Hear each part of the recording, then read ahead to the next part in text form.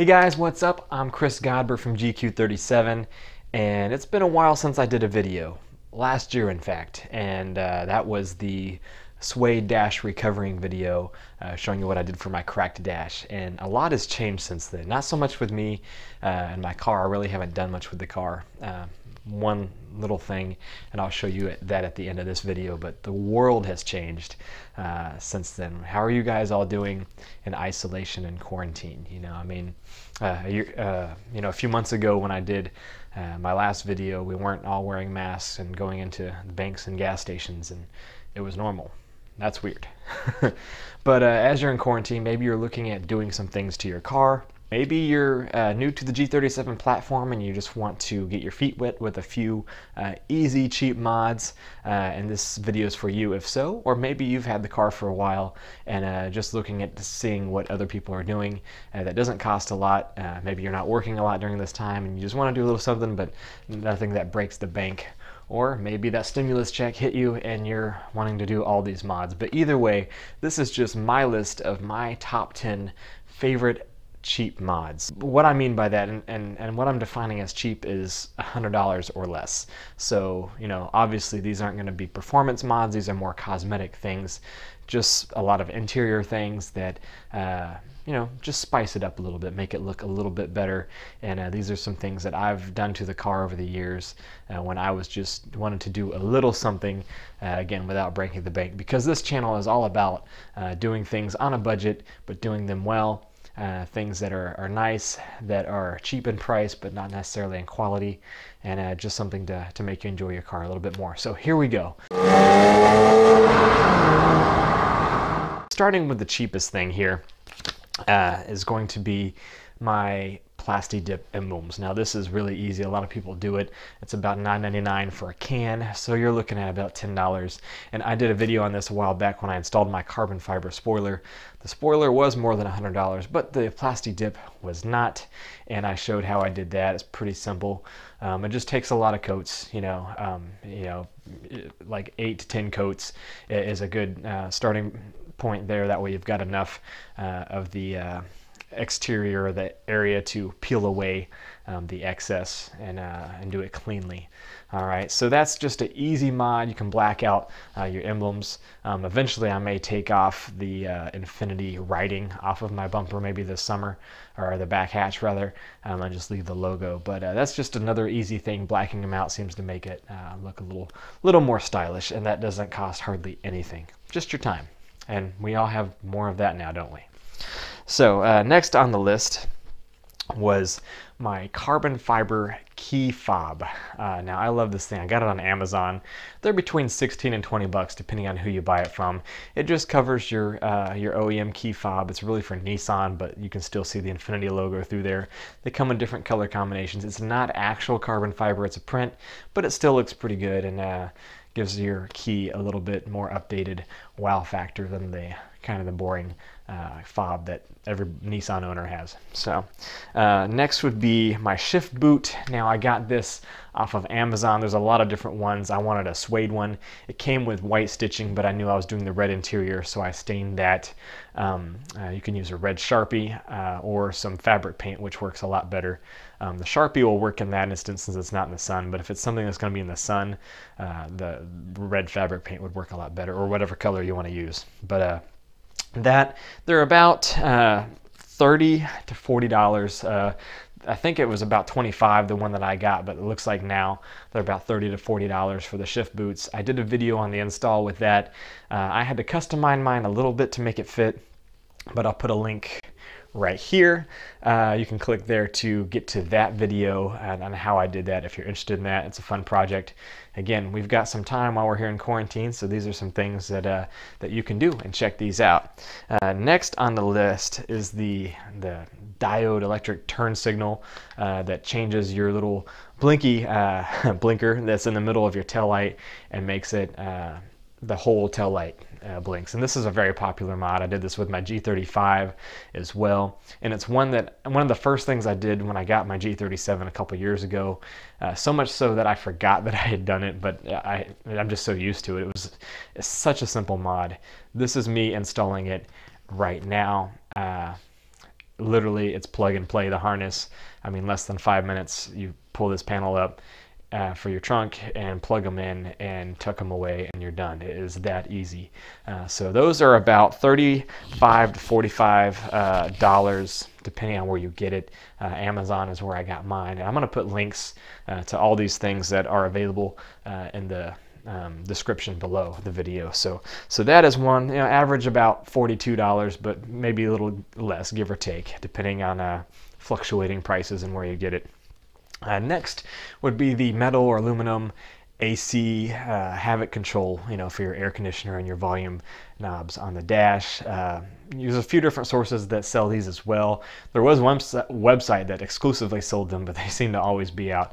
Uh, they're about 35 to 45 dollars again, depending on the seller. They look pretty cool at night with the uh, blue white lights, you know, coming through at nighttime, reflecting off of that. But it just adds a little touch of luxury for not a lot of money. So, and they literally pull, you know, the old ones pull off and the new ones push on. Next, a shift knob. A shift knob can go a long way in, uh, you know, helping your just it looks better, feels better. The stock knob in the G37 is actually pretty good. I like it better than the 370Z and worlds better than the 350Z G35 six-speed shift knob. Um, the, just the manual transmission in the G37 and 370Z alone feels a lot better, um, at least better than the early model 350Zs and uh, G35s. So uh, um, that feels a lot better. It's weighted. Um, I got a weighted, it's a Razo weighted shift knob, uh, 200 grams. So you want a weighted one if you're going to get a shift knob. Um, the reason for that is it will make your throws a lot smoother. The stock one is weighted, so you definitely want to keep that feel. The stock one has a good feel, um, but maybe you want one something skinnier, maybe you want the ball, whatever you want.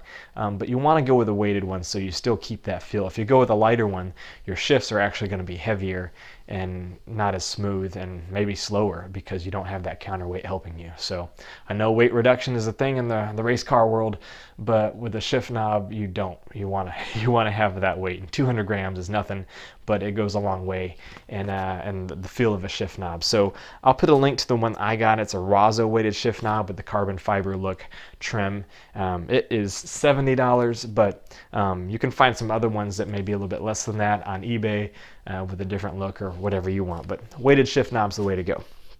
All right, Megan Strut Tower Brace. About 75 bucks uh, trending on eBay right now the most I've seen them is about 80. You can get more expensive ones. They all do the same thing. And uh, this one looks just fine too. But unless you're a car show, you know, uh, snob that really needs some really cool looking strut, strut bar, this one does the job. And it actually does feel really good. You know, um, uh, once I put it on, you know, my, my previous cars had them. I've had Miatas and Zs. And then of course this one didn't come with one. So when I put it on there, I immediately noticed that uh, it, it just felt more focused uh, uh, in the turns. I don't track my car, I'm not racing it, but just around the street, uh, cornering, it just felt a little bit more focused, a little bit more tight, a little more confident. Uh, so uh, it was well worth it to me, uh, the, the feeling of it. And it's an easy, easy install. It should be. Mine, um, the factory got the brackets uh, mixed up, so it didn't fit at first, but once I realized they had them mislabeled um, right and left, was not correct, so I switched them and then it was piece of cake. That's another five minute install for you. Um, again, about 76 bucks on eBay. Um, next is my floor mats. I get the most compliments on the floor mats. I mean, people see the seats, that's cool, the red interior, but the black and the red, the black floor mats with the red stitching, for whatever reason, gets people really excited, and that was a cheap mod. You see them advertised all the time on social media, Facebook and Instagram, like $150, leather floor mats custom. First of all, they're not leather. None of them are. They're vinyl, and they're all coming from China. So you might as well just get it straight from the source, like a wholesale pricing. Um, I get it on eBay. You can probably get it on AliExpress too, but I bought mine on eBay for 80 bucks. That includes the front and the rears and it goes over that little middle hump in the back as well. And they are custom fitted for the G37 they look great. They even have the little plastic uh, guard for your foot for the driver's uh, side so it doesn't wear out so quick. Um, I've had mine for over a year and a half and they look great. They, um, they've, they've been holding up. So 80 bucks on eBay get them from China. Maybe not right now. Wait till this corona stuff's over. But uh, anyway that's that's where I got them from and uh, check those out uh, carbon fiber mirror caps. I've had these on for about two years, um, and they're the genuine dry carbon fiber. Also came from China. Uh, I got them on eBay, uh, and these range in price depending on the seller, and they all use the same photos. So you just kind of want to look at the reviews, make sure uh, you're getting the real deal. Um, but on average, you're looking at about 70 $80. I've seen them go up as much as 100 and as little as like 60, but somewhere in there. And uh, they have 3M tape on the back. Um, and uh, you can put a little bit more to make it secure and uh, they just stick right on all right um, so those are pretty cool they've held up really good and I just I like the way they look on the car now is vinyl. Vinyl wrap can go a long way and I put this at between a 60 and a $100 because I've gone to my vinyl guy several different times for different things. The most expensive part I got was blacking out my roof, which I think looks really good on a um, on a white car uh, or some of the brighter, you know, like a, you got a red one or you know, depending on what color your car is, I think a black roof looks really good and uh, can go a long way in just bringing out those body lines from, you know, if you've got tinted windows, the, the, the back windshield just runs right into it and it hides the sunroof and all those things. It looks really good. Um, he only charged me $100 for that. Your prices will vary, um, but that's what my guy locally charges. There was another guy in town that quoted me 500, so that's a huge discrepancy. Um, I thought 500 was ridiculous because a body shop only quoted me 200 to paint it. Um, but uh, my guy said, no, $100, I'll, uh, I'll wrap it. And I've gone to him with my G35, he charged me 100. With the G37, he's charging me 100 very, uh, uh, very happy with the quality I got from Epic Wraps Panama City uh, for vinyl wrap. So $100 for my roof. Uh, he also did um, the carbon fiber trim around my exhaust. Um, instead of getting a carbon diffuser, I decided to go that route. He only charged me $60 to do that. Does it look as good as a carbon fiber diffuser? No, but it's also not three or four hundred dollars um, and I had it done within an hour. So I'm very happy with the way it looks. It looks good enough for me. I'm happy with it. I get compliments on it and uh, from you know a couple car lengths away in traffic nobody else knows the difference. Um, so 60 bucks. I don't know what your people will charge, but it's probably less than 100 for that little piece. Um, I also did the red, uh, you know, the Nismo inspired uh, dragon red uh, forget what the color code is. It's like Inferno red or something another dragon. It's a metallic red.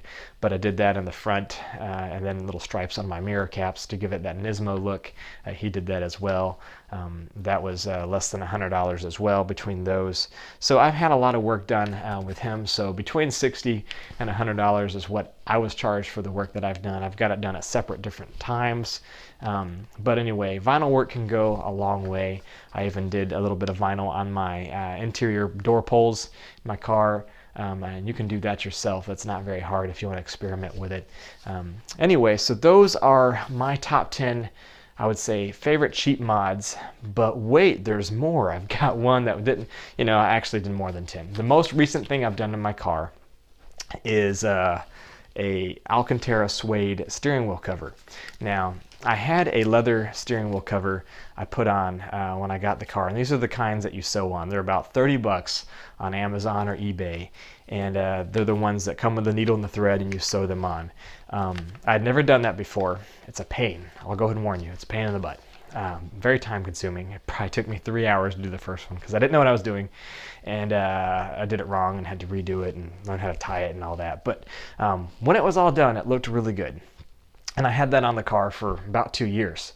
Um, I forgot that I'd done it. it. it. looked so good. But when the guy um, put my dash in or took my dash out and whatever, somehow he scraped it up on the back of it. You couldn't tell it looking at it, but when you drove the car, you could feel the scratches on the back side of the steering wheel. And of course, that bothered me. So I ordered a new one, a black and red one to match my interior.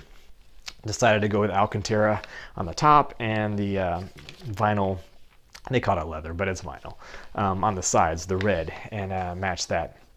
Again, that was about that was forty dollars uh, on on eBay, um, and that one you do have to take your steering wheel off though. The one I had before you didn't. Um, it didn't tuck into the uh, control panel, but this one is to to look OEM, you know. So you have to take your steering wheel off in order to take out the screws on the back to get that faceplate off for your volume controls and all that stuff, cruise control on the steering wheel. So that one was a pain.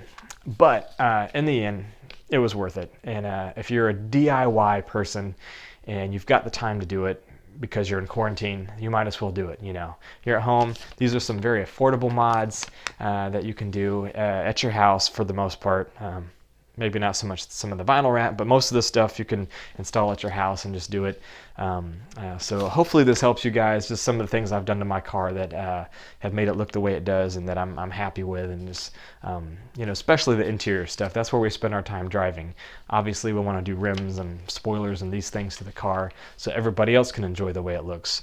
But we spend the time in the cockpit. So these are some of the things that uh, are kind of enjoyable uh, to you as a driver. One more uh, honorable mention that did not make the list, and the reason why is because it hasn't really held up, um, so I can't fully recommend it. But you've probably seen them on social media. Uh, is the dome lights with the uh, little Infiniti logo. Um, I got mine off Amazon. They're between 12 and 15 dollars, very affordable.